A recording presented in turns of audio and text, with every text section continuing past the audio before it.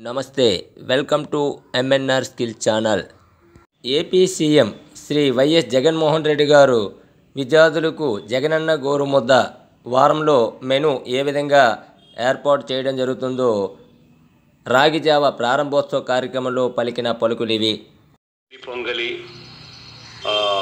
ఉడి వేడి పొంగలి అని ఉడికించిన గుడ్డు దగ్గర నుంచి లేదా కూరగాయల పలావుతో గుడ్డు కూర వేరుశనగ చిక్కి సోమవారం అయితే మంగళవారం అయితే పులిహోర టమాటో పచ్చడి దొండకాయ పచ్చడి ఉడికించిన గుడ్డు దగ్గర నుంచి బుధవారం అయితే కూరగాయల అన్నం బంగాళాదుంపల కుర్మా ఉడికించిన గుడ్డు ప్లస్ వేరుశనగ చిక్కి గురువారం అయితే సాంబార్ బాత్ కానీ లేకపోతే లెమన్ రైస్ విత్ టమాటో పచ్చడి ఉడికించిన గుడ్డు కానీ శుక్రవారం అయితే అన్నం ఆకుకూర పప్పు ఉడికించిన గుడ్డు ప్లస్ వేరుశనగ చిక్కీ కానీ శనివారం అయితే ఆకుకూర అన్నంతో పాటు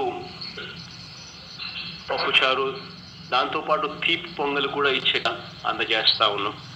ఐదు రోజుల పాటు ఉడికించిన గుడ్డును కూడా ఇస్తూ ఉన్నాం. వారంలో మూడు రోజుల పాటు చిక్కీ కూడా ఇస్తూ ఉన్న పరిస్థితులు చూస్తూ ఉన్నాం. ఈరోజు మిగిలిన చిక్కీ ఇస్తూ ఉన్న ఆ మూడు రోజులు కాక ఆ మిగిలిన మూడు రోజులు కూడా పిల్లలకు ఇంకా మంచి జరగాలనే ఉద్దేశంతో ఆ మిగిలిన మూడు రోజులు కూడా రాగి జాబను కూడా ఇంట్రడ్యూస్ చేసే కార్యక్రమం ఈరోజు చేస్తా ఉన్నాం. వీటి అన్నిటి వల్ల పిల్లలకు ఇంకా మంచి జరగాలని చెప్పి మనసారా కూడా కోరుకుంటా ఉన్నాం.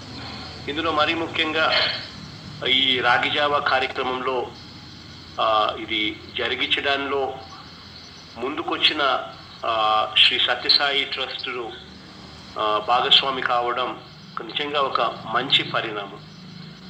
శ్రీ సత్యసాయి స్వామి గారు స్వామి గారు స్వామివారు కూడా ఈ కార్యక్రమాన్ని పైనుంచి ఆశీర్వదించి ముందుకు తీసుకెళ్తున్నారు తీసుకెళ్తున్నారని చెప్పి కూడా నేను భావిస్తా ఉన్నాను.